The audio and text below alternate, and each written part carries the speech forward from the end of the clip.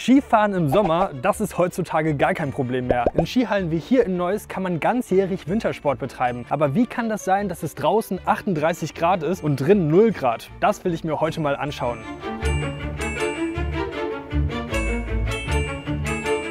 So, es ist Zeit, ich ziehe mir warme Klamotten an, denn jetzt geht's in die Kälte und ähm, ja, ich bin verabredet. Ich bin Felix. Ich bin der Cemal. Hi, wie funktioniert denn diese Skihalle? Man muss sich so vorstellen wie eine große Küche. Da kann ich dir genau gleich zeigen, wie das funktioniert. Okay, ja, dann Ja, lass komm mal uns das machen. Wow.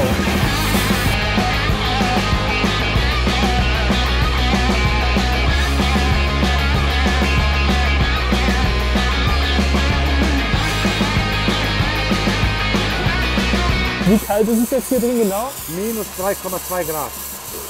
Draußen über 30 Grad und hier minus 3. Ja, wenn das heiß wird, dann kann man uns hier abkühlen.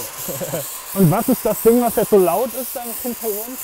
Das ist für unsere Schneekanonen. Eine Schneekanone. Also wir produzieren gerade Schnee.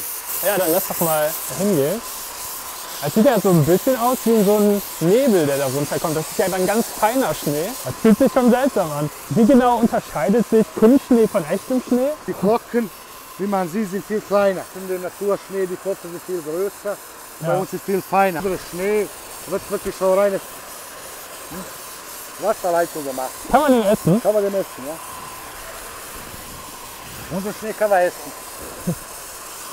Solange keiner draufgepinkelt hat, ne? Einfach Wasser. Und wir haben, wie gesagt, zwölf Schneekanonen in komplette Halle verteilt. Wie groß ist jetzt die ganze Halle? Also Gesamthalle ist 300 Meter lang, 60 Meter breit. Und wie hoch ist der höchste Punkt?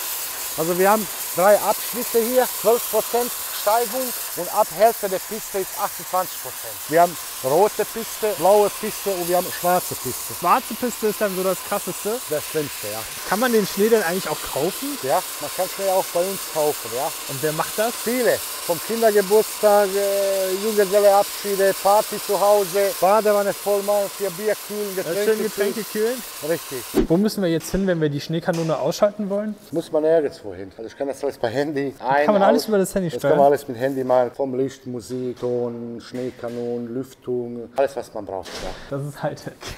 Jede Maschine, ob die läuft, ob alles in Ordnung ist, ob alles im grünen. Bereich ist. Und Schneekanone habe ich gerade auch ausgeschaltet. Ah, okay. Sieht alles Das heißt, hier sieht man, wenn das rot leuchtet, das dann rot ist es ist, aus und wenn es Ja, grün ist, ist es Wenn an. ich die anmache, dann ist die grün und dann fängt die Schnee zu produzieren. Wir haben ja gesehen, im Hintergrund sind die ganze Zeit Leute gefahren. Das heißt, der Schnee wird ja irgendwie so ein bisschen abgetragen. Wie macht ihr das dann wieder klar, dass man da wieder eine schöne Fläche zum Fahren hat? Wir haben auch äh, zwei Pistenbullis in der Halle. Fangen um 22.30 Uhr bis morgen früh um 5 Uhr. Der Schnee wird glatt gemacht und wenn die komplette Piste fertig ist, das sieht wie Teppich aus. Und kann ich dir auch gleich zeigen, wie das funktioniert. Wollen wir uns da mal so eine Schneeraupe anschauen? Das können wir gerne machen. Dann zeige Ja. ich dir, wie das funktioniert.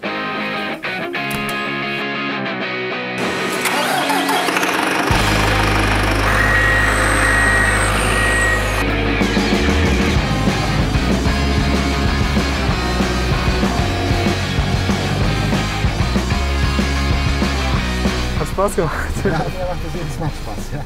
Okay. So macht man das, oder? Jetzt bin ich komplett nass. Geil.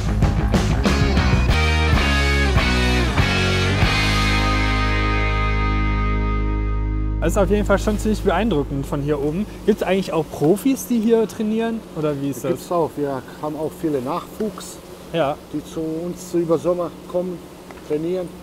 Also wir haben dieses Jahr zum Beispiel wirklich quer durch Europa. Schweizer, Österreicher, DSV, WSV, Slowenien, Kroaten, Italiener, Spanier, alles Mögliche dabei. Wie alt ist so der älteste ähm, Kunde hier? Also der älteste Skifahrer, den ich persönlich sehr gut kenne, ist 92. 92. 92 Jahre alt. Wie viel Energie oder Strom verbraucht die Halle denn hier eigentlich? Viele, viele stellen sich die Frage, ob das viel, wenig, diese, diese, diese Diskussion gab es immer wieder. Ja. Also ein Freibad verbraucht mehr Energie als eine Skihalle. Wie gesagt, der große Kühlschrank, wie Ja. zu Hause. Wenn er zu bleibt, dann bleibt er zu. Und ich verbrauche im schlimmsten Tagen bei 40 Grad 30 Prozent Energie. Also das ist gar nichts.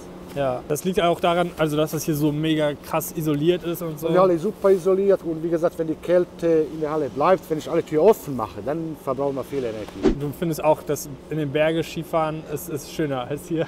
Das kann man nicht vergleichen. Die Berge kann man nicht ersetzen. Skifahren in Bergen ist anders als in der Skihalle. Ja, In klar. der Skihalle komme ich hier hin, lerne ich hier als Kleinkind Ski zu fahren und dann gehe ich mit meinen Eltern im Skiurlaub oder im Skigebiet. Ja, Im Ruhrgebiet oder in Nordrhein-Westfalen kann man nicht überall über Sommer Ski fahren. ja, klar. Jetzt sind wir hier draußen am allerhöchsten Punkt der Skihalle und jetzt geht es ganz nach unten ins Herz.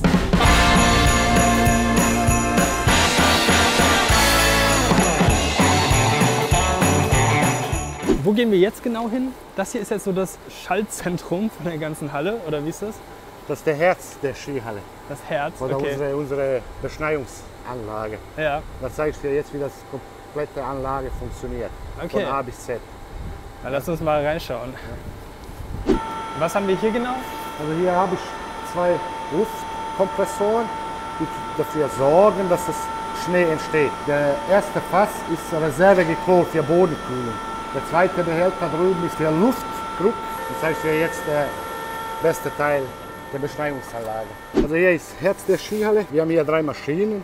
Hier kommt die Wasser an, ca. 20 Grad, wird runtergekühlt auf 4 Grad und dann mit den Pumpen werden die Wasser hochgeleitet in der Beschneiungsanlage. Da kommt die Pressluft dazu, dann entsteht der Schnee. Wird der Boden gekühlt, Wasser wird gekühlt und die komplette Anlage wird von hier gesteuert. Ja, Also ohne diese Maschinen funktioniert leider gar nichts. drei Kompressoren und äh, zwei, Kältekreise zwei haben wir. Kältekreise. Also im Prinzip, wenn eine Maschine ausfällt, ich habe immer noch zwei. Wenn die zweite kaputt geht, habe ich die dritte. Das heißt, es ist alles sicher, es kann eigentlich gar nichts schief Also gehen. doppelt und dreifach ist immer die Anlage abgesichert. Ja.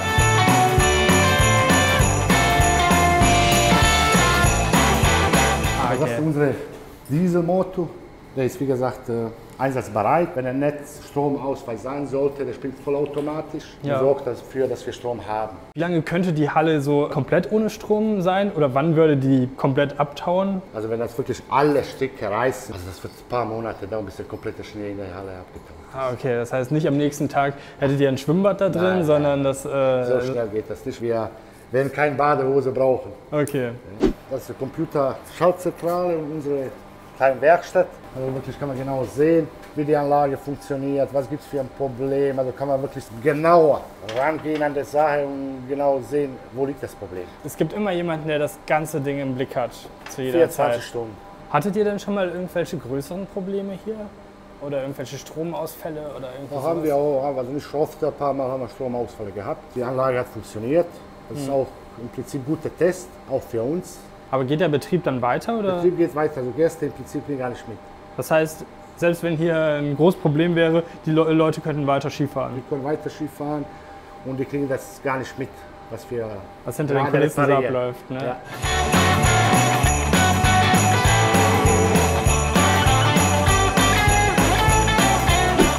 Boah, ich fand es auf jeden Fall mega faszinierend, hier mal hinter die Kulissen von so einer Skihalle zu schauen. Kriegt man ja normalerweise gar keine Einblicke rein. Wenn euch Reportagen dieser Art gefallen, dann schreibt das gerne mal in die Kommentare. Dann machen wir sowas vielleicht häufiger. Vielen Dank an die Skihalle Neuss, bei der wir hier drehen durften. Und nachdem ich das jetzt so gesehen habe, habe ich auch so ein bisschen Bock, selber mal Ski zu fahren. Vielleicht mache ich das in einem der nächsten Videos. Vielen Dank fürs Zuschauen und bis zum nächsten Mal. Tschüss!